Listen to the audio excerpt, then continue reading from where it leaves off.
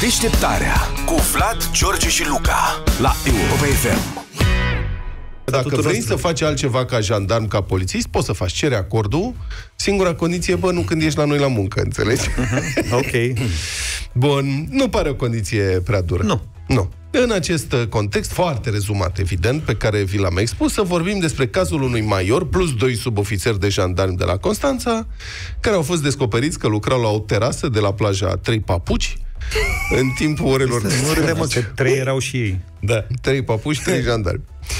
Aici, cineva care îi cunoștea pe cei trei a observat că, într-o sâmbătă toridă a verii anului trecut, domnul major Romi Gorun, împreună cu domnii plotonier ajutant Marinache, Leu, și domnul Ionuț Olteanu și dânsul tot plotonier adjutant, trebăluiau la terasa respectivă, deși ar fi trebuit să se afle la muncă. Ba chiar în misiune pentru asigurarea ordinii publice la un meci al echipei Faru. Da, probabil s-au gândit că ce ăștia la Faru Acolo sunt e liniște, pașnici, merge la terasă. Și a urmat o sesizare, iar procurorii au început un filaj care a durat mai multe săptămâni.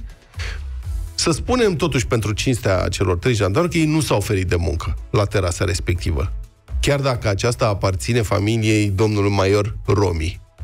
Dar, adică domnul major a curățat și gătit scoici pentru turiști, a închiriat șezlonguri, a făcut aprovizionare, timp în care colegul jandarm plotonier ajutant Tolteanu a servit clienții la bar, ajutat de o tânără, Celălalt coleg, domn jandarm plotonier ajutant Marinache, s-a ocupat de trambulinele pentru copii, a fixat pilonii de susținere și a inspectat cu ochi profesionist zona beach barului și alte lucruri.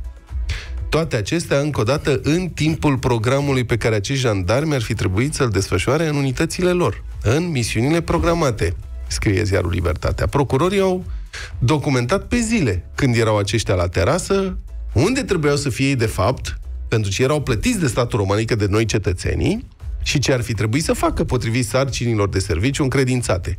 Misiuni de pază, de apărare, de nu știu ce lucruri de astea, adică... Bun.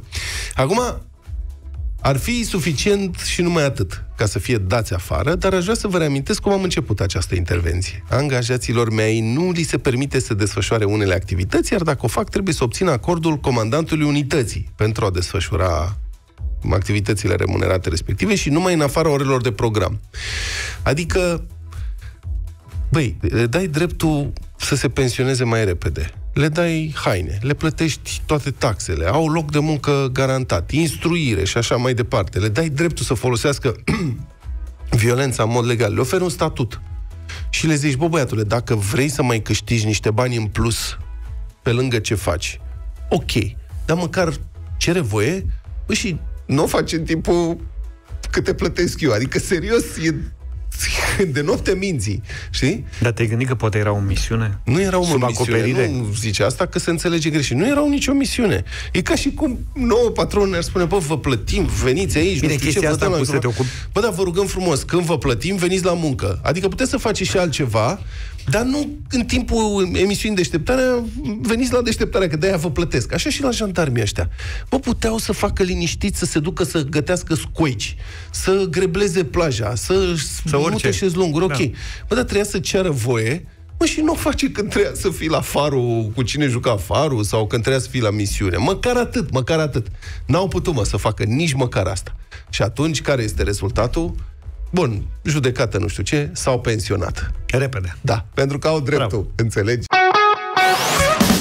Deșteptarea cu Vlad, George și Luca la Europa FM.